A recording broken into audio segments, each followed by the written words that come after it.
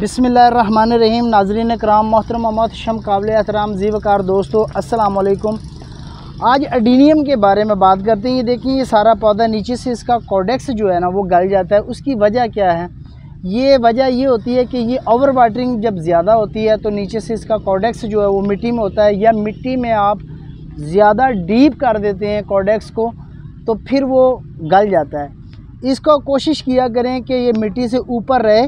اور آپ کا جو کوڈیکس ہے نا، صرف روٹس اس کے اندر رہیں، باقی سارا باہر رہے. لیکن جب اس کا نیچے سے کوڈیکس گل جاتا ہے، تو پھر آپ کا پودا اس طرح گر جاتا ہے اور یہ بالکل بے جان ہو جاتا ہے، یہ دیکھیں. لیکن اب اس کو ہم ٹریٹ کرنے کی کوشش کرتے ہیں. اس کی ٹریٹمنٹ دیکھیں، یہ بالکل آپ کا جو ہے نا، یہ اس کے اندر سے کوئی چیز یہ خراب ہو گیا سارا. یہ گل چکا ہے. اس کو ہم ٹھیک کرنے کی کوشش کرتے ہیں. لیکن ایک بات بتا دوں آپ کو کہ یہ کوڈکس تو ٹھیک نہیں ہوگا، لیکن اس کا جو اوپر کا یہ سٹیم ہے نا، یہ آپ کی چل جائے گی، لیکن یہ کوڈیکس نہیں بنائے گی اب۔ کیونکہ یہ اب خراب ہو چکا ہے۔ تو خراب ہونے کی وجہ سے یہ دیکھتے ہیں کہاں تک، یہ دیکھیں یہاں تک یہ ٹھیک ہے، باقی یہاں تک یہ گل چکا ہے۔ تو جب اس کا کوڈیکس آپ خراب کر لیتے ہیں تو اس کے بعد آپ کا پودا جو ہے، یہ دیکھیں، یہ سارا گل چکا ہے۔ اس کے بالکل بھی اب اس میں جان نہیں ہے، بالکل ڈیڈ ہو چکا ہے، یہ دیکھیں۔ اور بری طرح سے اس کا برا حال ہو چکا ہے۔ تو اب یہ جو ہمارے پاس کوڈیکس کا بچا ہوا ہے، یہ ایک سٹیم ہے اڈینیم کی، اس کو ہم لگاتے ہیں۔ اور اس کو لگانے کے لیے ہمیں یہ، اس کی ٹریٹ اس کی بھی کرنی پڑے گی۔ اس میں ہم فنگس کے لیے نا، ایک ایلو ویرا کا ٹکڑا لیتے ہیں۔ اور اس کو ہم یہاں پہ اس کے رگڑ دیتے ہیں تاکہ اس کو فنگس مزید اٹیک نہ کرے اور یہ ہمارا جو پودا ہے، بہترین سے چل بھی جائے اور بہترین ہو بھی پائے۔ تو یہ سارا ہم اس سے کرنے کی کوشش کرتے ہیں۔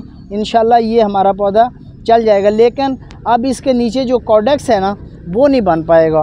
کیونکہ یہ فلاورنگ بھی کرے گا، پتے بھی نکالے گا، سارا سسٹم ہوگا اس کا۔ لیکن نیچے جو اس کا بلب بنتا ہے وہ بلب نہیں بن پائے گا کیونکہ اس کا بلب جو ہے وہ ختم ہو گیا ہے۔ تو یہ اسٹیم کی صورت میں فلاورنگ بھی کرے گا، سروائیو بھی کرے گا، روٹس بھی بنائے گا، سب کچھ ہوگا۔ لیکن اس کا ہم اب تھوڑے دنوں کے بعد اس کا رزلٹ دکھائیں گے آپ کو۔ انشاءاللہ ابھی ہم اس کو ایک سائڈ پہ رکھ دیتے ہیں اور اس کو تھوڑا سا ہم ہلکا سا شاور کر دیں گے پانی کا۔ پھر اس کو ہم ایک سائڈ پہ رکھیں گے، پھر اس کا رزلٹ آپ کو تھوڑے دنوں کے بعد دکھائیں گے۔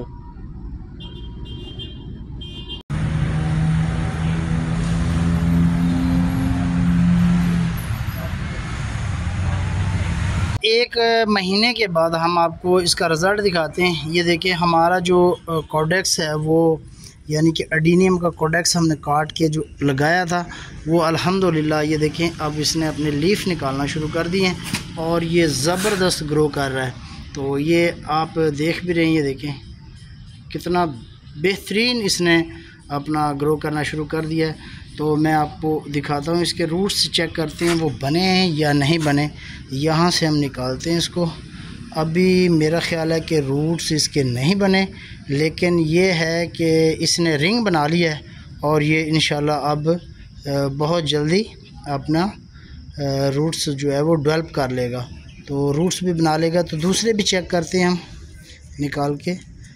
ہاں تو یہ دیکھیں، اس نے بالکل رنگ بنا لیا ہے۔ اور رنگ بنانے کے بعد اپنی روٹس جو ہے نا وہ سٹارٹ کرتا ہے۔ یہ آپ دیکھ بھی رہے ہیں۔ انشاءاللہ اب یہ بہت جلد جو ہے اپنے روٹس بنا لے گا۔ اور اس میں ابھی انسیکٹس وغیرہ، کیڑے بھی جو ہیں وہ نظر آ رہے ہیں، لیکن اس میں ہم فنگی سائڈ کا دوبارہ سے استعمال کرتے ہیں اور اس کو یہیں پہ لگا دیتے ہیں۔ اور اس میں کچھ ایسا ہم کرتے ہیں کہ اس میں جو انسیکٹس یا کیڑے یا کچھ فنگس وغیرہ ہے، وہ دور ہو جائے اور یہ انشاءاللہ اب بہت جلد جو ہے اپنا کام شروع کر دے گا فلاورنگ والا بھی۔ اور یہ دیکھیں، بہت اچھے سے یہ اپنے برانچز نکالنا شروع کر دیے ہیں۔ یہ دیکھیں۔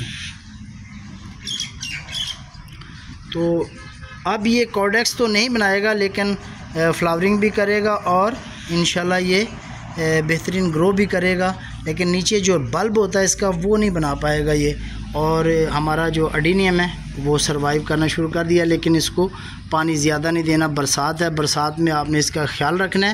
اور برسات میں کوشش کریں کہ آپ اس کو پانی بالکل بھی نہ دیں۔ اگر پانی آپ دیں گے تو آپ کا پودا گل جائے گا، کیونکہ ہوا میں نمی بہت زیادہ ہے اور نمی ہونے کی وجہ سے آپ کے پودے کو پرابلم آئے گا۔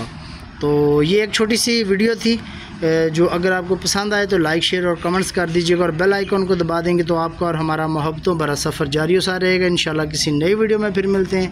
تب تک کے لیے اجازت دیجیے فی مان اللہ اللہ آپ سب کا حامی و ناظر ہو۔